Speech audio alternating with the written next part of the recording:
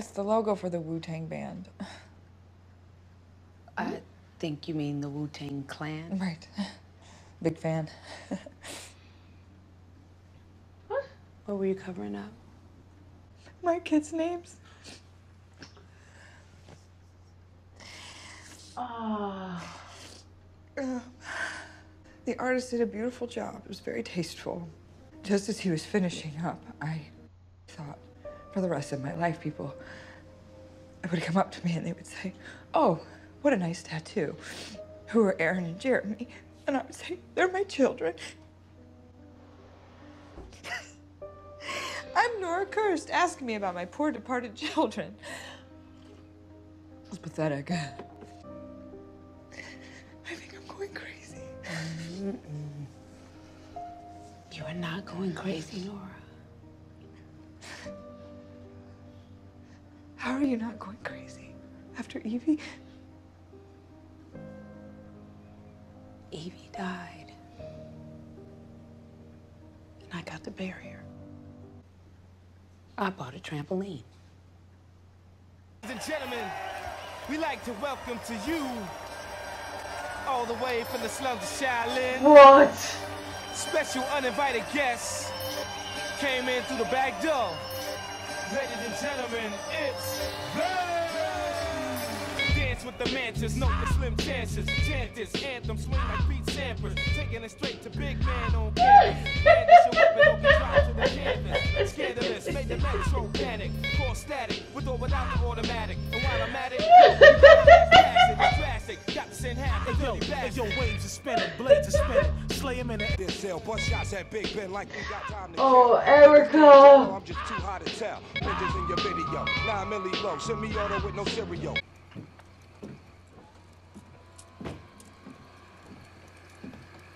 Tommy. I see you with that flashlight. License and registration, please. I didn't go to see her. I was in St. Louis on business. You live in Kentucky. How'd you even know where to find her? Christine just wants to know if she should be worried. She came after me. She filed for custody because she made the single worst mistake of her life. She wanted to fight me. And did I fight back, Tom? No. Kevin adopted me when I was three. I grew up thinking he was my real dad. And when I was 10, he and my mom decided that I should know about my real father, my biological father. I spent the next 10 years of my life knocking on some asshole's fucking door. So I wish they wouldn't have told me. Because I was already where I belonged. Well, do you know what I wish? I wish you'd never left her for me. I didn't leave Lily for you, Nora. I left her for my dad. I didn't even know you existed.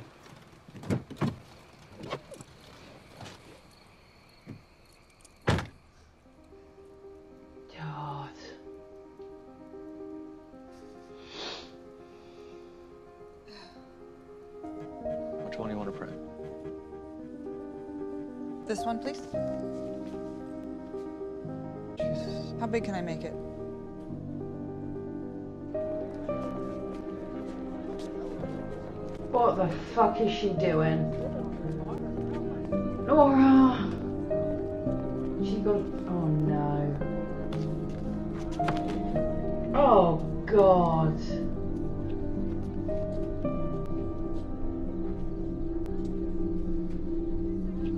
You are a heartless bitch. She really can be at times. That's so cruel.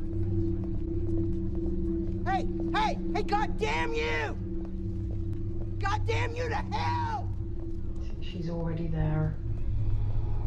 What is she gonna do? Like, how is she gonna find any peace?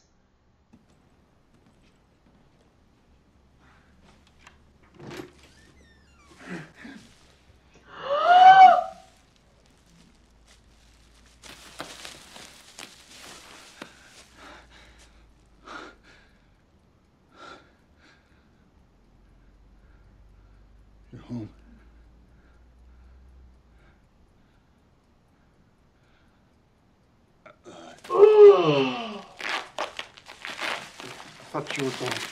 Tomorrow.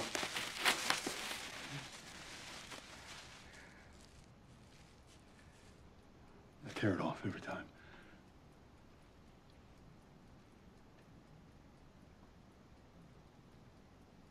I just do it to feel. Uh,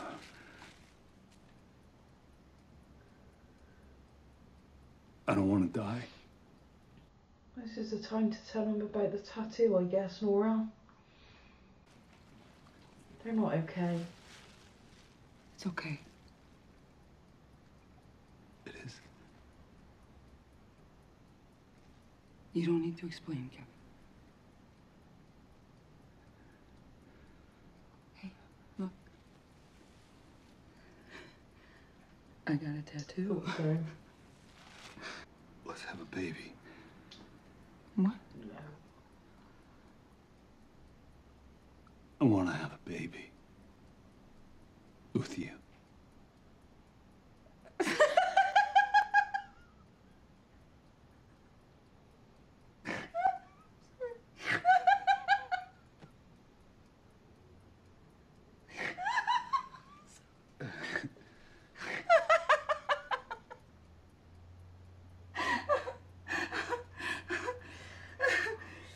Oh, God.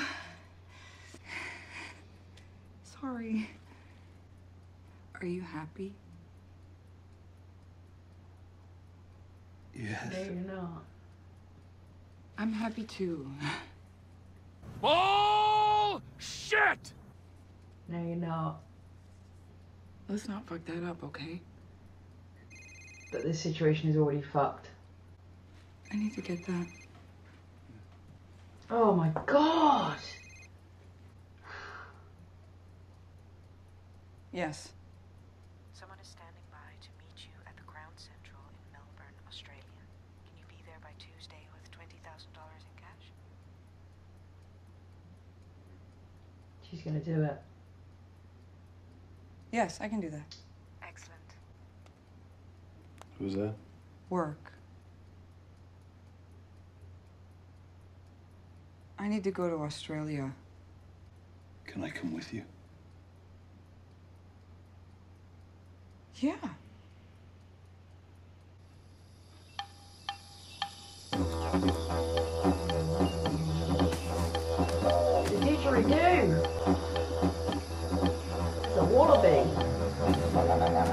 Or a kangaroo, I can't listen to Oh! So the biggest way of telling kangaroos from wallabies, in my opinion, is if you think of kangaroos like sheep and wallabies like goats. Kangaroos are really a grazing animal in big wide open plains and eating those long stalky grasses. Whereas wallabies, on the other hand, are sort of like a goat. They go and they're picking and browsing off bits and pieces. So, different ecological niches for different parts of Australia. Whether they're kangaroos or wallabies, the main thing is these guys are both iconic Australians. Uh, can't be sure just yet, Gene, but with the seventh anniversary of Sounds like the. October 15 fast approaching, we may see some hellfire moving up from the south. And off the Gold Coast, a high pressure system of locusts and perhaps blood boiling up. Did you hear that?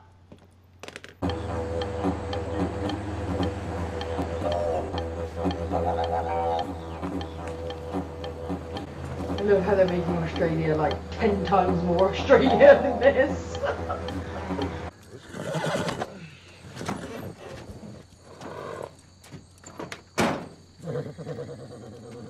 Good evening. G'day, sweetheart. Ladies? May I ask why you're blocking my driveway? Who the hell? Are you chief of police? Indeed I am. Is your name Kevin? Indeed it is. And he looked at them and raised his hand, but they did not wave in response.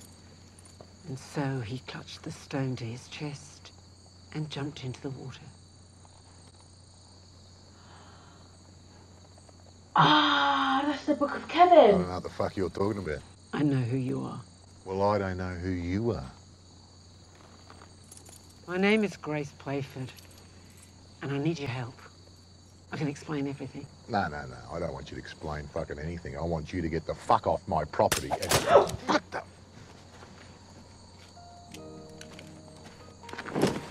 Jesus, Florence! he wasn't coming.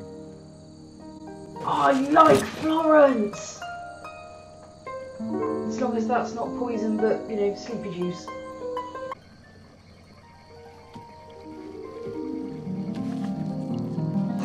Fuck! What's happening? It's all right. You're amongst friends. We know who you are. Wrong Kevin! There you go. Wrong Kevin! I don't know why you're acting this way. But if I have to prove I know, then so be it. Maybe it's not him. It's him. Let me go, you fucking cunt! I'll see you in two minutes.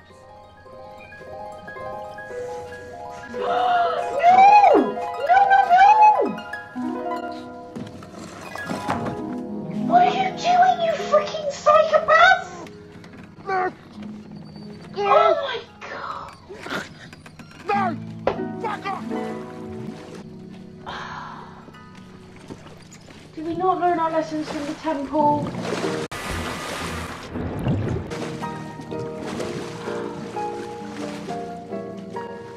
Grace, what if it's not him? It's him.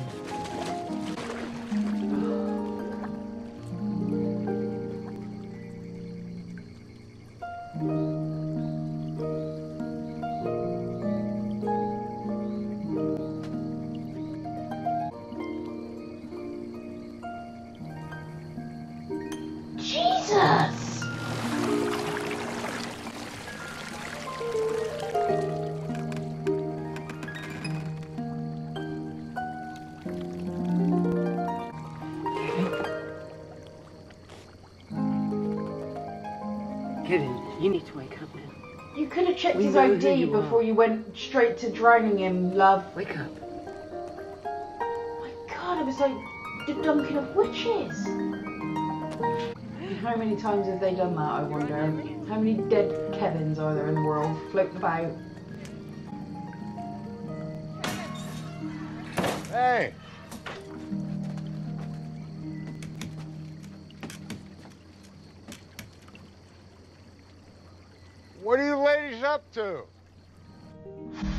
No! Oh!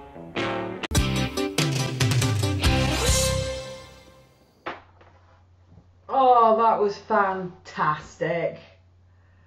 That was a really, really good episode. Very different, different pace, but I really liked it and I felt like it got stronger as it went on as well. And it answered a whole bunch of my questions. So Lily is back with Christine, her mother, who clearly is doing way better than she was when we last saw her. She looked really together. She's got another child. All good, but it's devastating Nora. And Nora's clearly in a lot of pain. And very similar to season two and season one, you know, at her worst, where she's cold, she's passive aggressive. There is a land called Passive Aggressiva, and you are their queen. I'm, you know, she says things like she's joking, but it's brittle. Her and Kevin are just like, it's like they're rehearsing lines for a play or something. It's really very well done, that barely beneath the surface tension that's going on between the two of them because they're both pretending again. They're both pretending to be okay when they're not okay. They're pretending to be happy when they're not happy. And neither of them is talking about it. And when one does, the other one just kind of goes, it's okay. Like, you know, the way Nora was with Kevin then was similar to how she was with the handcuffs. You know, put handcuffing him to the bed. And she was like, it's okay. The widow of Jesus Pillarman is trying to, you know, create her husband, you know, give him the legacy he deserved for all of his, you know, for, for all of the effort that he put in to placate the gods with his pillar standing suffering, which is very akin to Matt. Matt's all over it like white on rice. He's like, you know, for God's sake, Nora, just give someone a break. You know, just give them a break. Of course, Nora does not. Nora goes off to meet Mark Linn-Baker, actual Mark Linn-Baker, to say, you know, to find out what he's talking about about bring your kids back, or do you want to see your kids again? And basically, long and the short of it, a whole bunch of people have been shot with a ray gun, and it sent them off. That's that's the story. We've seen the videos of seemingly hundreds of people saying they're doing it, and, and off they pop. And Nora freaks out. She decides she's going to go dig up Lily, and that whole situation plays out. She couldn't get a touch to work for love nor money. Everything she interacted with technically went wrong. I don't know what that's about. Is it because she's a lens and it's her? No. She comes back. She finds, you know, first of all, there's that horrible conversation with Tom, which was like not healing. That was not a healing conversation. You know, I totally get where both of them were in that conversation, but it was just like, this is one person's baggage having a conversation with someone else's baggage. Neither of you are going to move forward in this conversation, and they didn't. And Nora gets home and finds Kevin with with the bag over his head. And his response to being caught in that moment is to say, let's have a baby. They're not having a baby, and something clicks in her, and she's like, fuck this shit, I'm off to Melbourne. Yeah, I'll go, I'm gonna go and get shot by ray gun in Melbourne. But then Kevin wants to tag along. And then we're in Australia. We're off in Australia. Oh no, and I gotta say, Nora's little freaking walk of shame where she puts the basically like the autopsy photograph of um whatever the hell Jesus Pillar Man is called, right in front of his widow and everyone else. And you just thought, Nora, why have you got to do it? It is classic where it's like when you're in that amount of pain, you almost want to put. Up, she doesn't want them to have the comfort she's denying herself. I get that. I totally get the psychology of it. But my god, is it frustrating to watch? It is so frustrating to watch because you kind of want to go, like, who are you to do that? Just let them have their little dreams. Like, what what does it hurt you for them to have, you know, have that? So that's where I was at that point. But bear with me because the Australia stuff.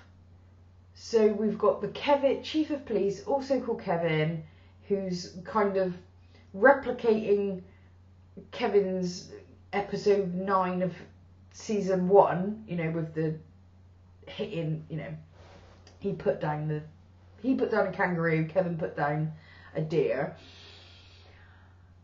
Then the four horsewomen of the apocalypse show up at his house later that night, and they're like, "Are you the chief? Is your name Kevin?" He's like, yeah, you know, what do you fucking want? Florence shoots him with a tranquilizer and then they dunk him like a witch. Again.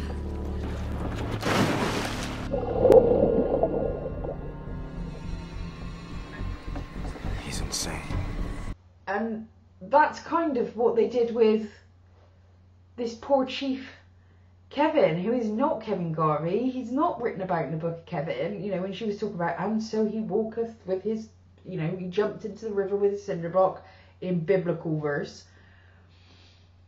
God. So he's dead, or he's just woke up in a hotel to battle to battle with somebody. But now, our Kevin is headed to Australia.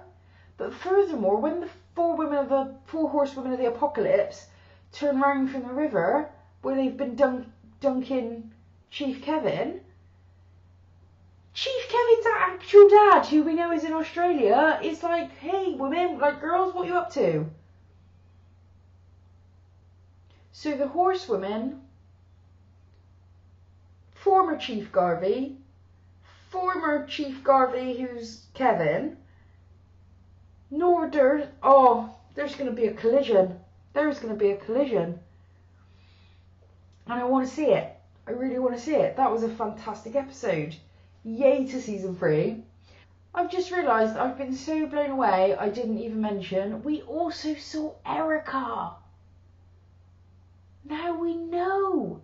So she's like, she's somewhere. She could have been in St. Louis, Kentucky, or on the outskirts of, like, I have no idea where she was. But she's not with the main group in Miracle. She's away. And she looked fantastic. She looked really good, like aware. She was able to like support Nora with what Nora was going through and she was kind, but she was also firm and making sure that she got the truth from Nora. And then she took her on the trampoline. I'm now at peace.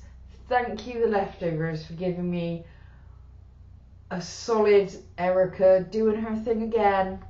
Right and wrongs, taking names. Brilliant.